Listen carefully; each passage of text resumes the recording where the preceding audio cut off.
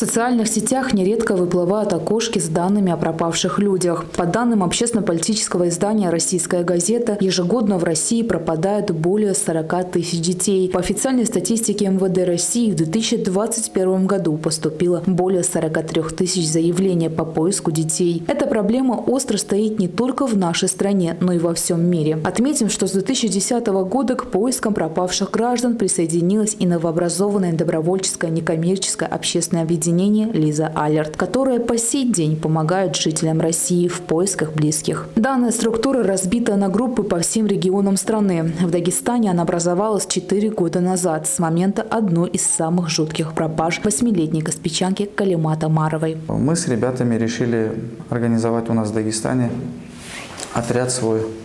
Вот, а, посоветовавшись э, с нашими на данный момент уже коллегами Тимуром Будаговым, Максом Максименко, ну, решили создать отряд, но мы прекрасно понимали, что этот отряд Лиза Алерт, он не имеет юридического никакого вот этого, да, что это не оплачивается. Мы добровольцы. По словам Ибадулы Мутукова, они вдохновились работой Лиза Алерт и решили собрать свою команду со всех уголков республики. Сегодня группа занимается поиском пропавших в Дагестане. При поступлении заявки об исчезновении в данную структуру тут же начинаются поиски, в которых нужно учитывать все детали и быть предельно внимательным. Невидимая работа очень колоссальная, очень большая работа ведется там в плане образования, да. там опроса, там, очень много чего там.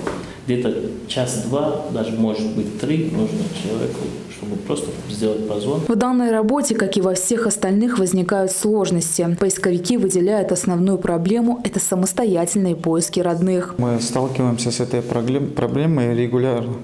То, что э, родственники пытаются сами найти человека, тем ну, совершают ошибку большую. Потому что э, чем быстрее выпадает заявка, тем быстрее нам, ну, тем легче нам найти человека. Да. У нас есть такая замечательная фраза э, в отряде «медлить значит хоронить».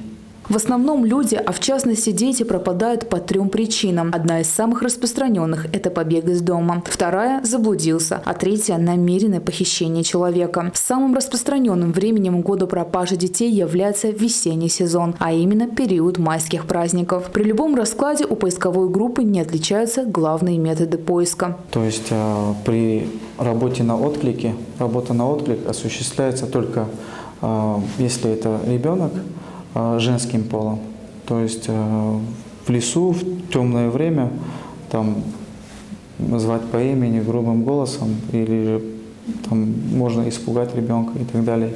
Поэтому в, на, к работе на отклик привлекается ну, чаще всего женщина девушки. А также следует учитывать, что при нахождении ребенка ему нужно оказать первую медицинскую помощь на случай, если он ранен или какое-либо опасное насекомое или животное нанесло вред его здоровью. Мы ребенка, учитывая состояние ребенка, можно ли его вообще транспортировать и эвакуацию проводить над ним, а, визуально осматриваем его на повреждение – то есть руками сначала не трогаем, если он в сознании. Не менее важно обратить внимание и на психологическое состояние пострадавшего, так как первое время он может находиться в шоковом состоянии. Для этого ему нужно провести курс сеансов с психологом. После того, как нашли человека, мы передаем уже органам, и уже дальше они подключают и психолога, и других, как бы, да, ну, они уже, врачи сами решают,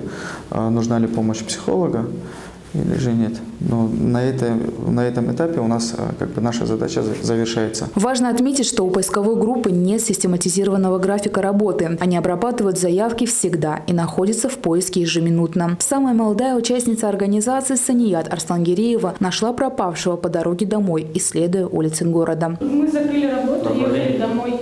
Домой по Азизалиева ехали. И, получается, час назад, полтора часа назад в МВД Дагестана ориентировку увидели. Мимо проезжая, увидела дезориентированного человека и как бы похож был остановились, подошли, узнали, как зовут. Вроде он позвонили родителям. Участником добровольческой группы «Лиза Алерт» может стать любой желающий. Для этого ему нужно просто зарегистрироваться на сайте организации и мониторить заявки. Абсолютно для каждого там найдется работа по определенному направлению. Важно отметить, что участники поисковой группы также ежегодно проходят подготовительные учения и улучшают свои навыки.